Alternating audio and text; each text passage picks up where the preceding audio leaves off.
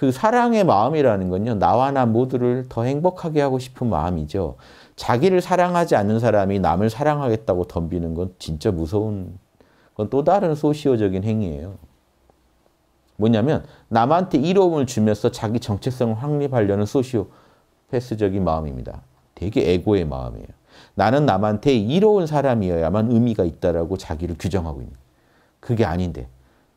그냥 존재 자체로 이미 아름다운 거고 불성이 충만한 내 존재가 이미 아름다운 거고 거기서 여섯 장 꽃잎을 피울 때 아름다운 건데 여섯 장 꽃잎을 피우는 게 아니라 나는 남한테 도움을 줄 때만 의미가 있는 존재야 하면서 자기를 억압하고 있고 그게 또 다른 탐진치예요. 남한테 도움을 줘야 되는데 그게 어리석음이고 막연하게 그렇게 생각합니다. 그래야만 나는 사는 의미가 있는데 어리석음. 거기서 탐욕이 나옵니다. 누구한테 뭘 줘야 되는데 도와야 되는데 그러다 보면 남들이 또 못 알아주면 환경이 그 도울 환경이 안 갖춰지면 화가 나죠. 이게 지금 탐진치의 마음이지 육바라밀의 마음이 아니라고요. 남한테 나눠주려면 먼저 본인부터 본인 에고를 행복하게 해주세요. 자기도 행복하게 못하는 사람이 누굴 행복하게 해주겠다는. 근데 자기는 불행해야 되고 희생해야 되고 남만 행복하면 된다라고 혹시 생각하신다면 되게 자기 파괴적인 이런 사랑은요. 불교에서 말하는 자리 이타가 아닙니다.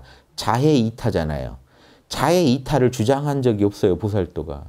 뒷사람들이 그렇게 세게 극단적으로 포장을 하다 보니까 자리 이타의 극단적인 모습을 막 설명하다 보니까 사람들이 오해하게 된 거죠.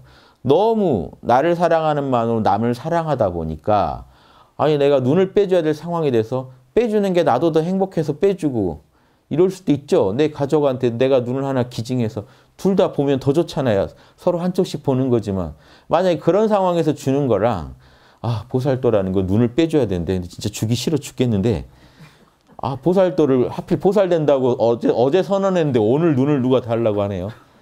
난감하네. 이거 줘야 줘야 내가 정토 갈 것 같은데 줘야 내가 뭘 할 것 같은데 상급을 노리고 내가 고행을 하는 짓은요. 이건 자, 자기를 파괴하면서 남을 이렇게 해가지고 결과적으로는 자기가 또 뭐 득 보려는 마음이 있어요. 내가 그걸로 나중에 되게 득을 봐야지.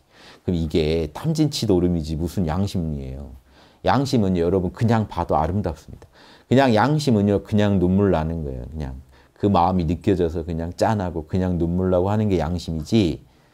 어, 희생해야 되는데요. 그러지 마세요. 그러, 희생해야 되는데 희생이 하나의 주의가 돼 있으면 안 돼요. 양심주의에서 희생이라는 모습이 나올 수는 있어도 희생이 하나의 주의 주장이 돼버리면 이 사람은 무서운, 무서운 파괴적인 사랑을 하게 됩니다. 자기 파괴적인 사랑. 제발 학당에 오셔서도 막 희생하겠다고 하지 마세요. 여러분도 행복하고 우리도 같이 행복해지는 그 길을 지혜롭게 선택하는 게 양심. 항상. 항상 언제 어디서나. 그러다 보면 그때 여러분이 좀 손해를 봐도 행복하면 손해 보는 거예요. 그때는. 나도 행복하니까. 기준이 행복에 있어야지 희생에 있으면 안 된다는 게 제 말씀. 아시겠죠?